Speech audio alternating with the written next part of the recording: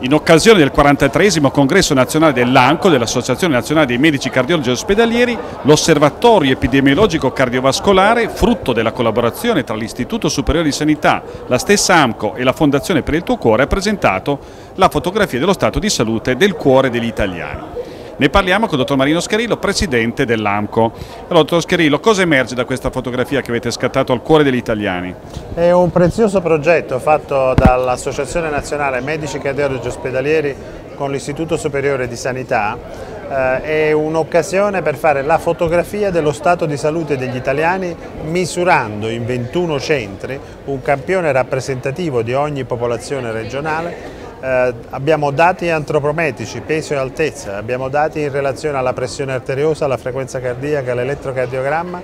Era previsto in tutti i cittadini che erano stati invitati a partecipare a questa indagine epidemiologica era previsto anche un prelievo ematico con il dosaggio di colesterolo, trigliceridi, veniva peraltro identificata la percentuale dei pazienti diabetici.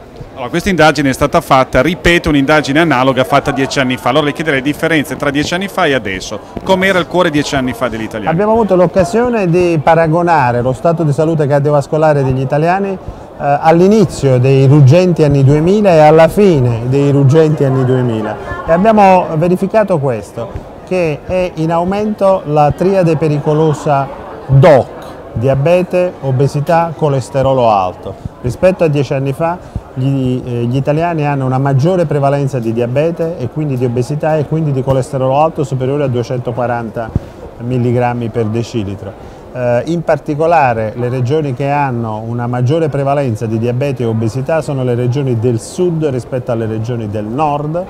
In queste stesse regioni, quelle del sud, comprese le isole, quindi la Sicilia e la Sardegna, vi è una prevalenza di inattività maggiore rispetto ad altre regioni della nostra eh, penisola.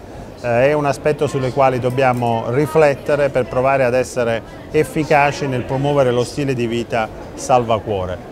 Ancora ehm, abbiamo notato che la prevalenza di ipertensione arteriosa è rimasta stabile in questi dieci anni, eh, abbiamo però osservato che ha aumentato il numero di cittadini italiani ipertesi che praticano un trattamento farmacologico appropriato. L'informazione eh, per i cittadini quindi è in grado di garantire un'aderenza alle terapie farmacologiche che possono ridurre i livelli di pressione arteriosa. Un altro aspetto che abbiamo eh, sottolineato nella conferenza che abbiamo tenuto con il professor Garaci, il presidente dell'Istituto Superiore di Sanità che ci ha dato il piacere e l'onore di essere presente con noi a questa conferenza stampa è che eh, gli italiani, i maschi italiani fumano di meno rispetto a dieci anni fa, non così per le donne.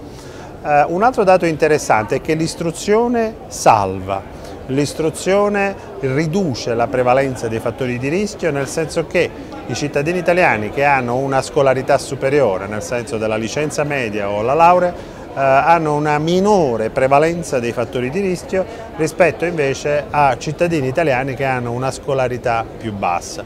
Peraltro è anche in relazione la prevalenza dei fattori di rischio con la, eh, i livelli svantaggiati socio-economici.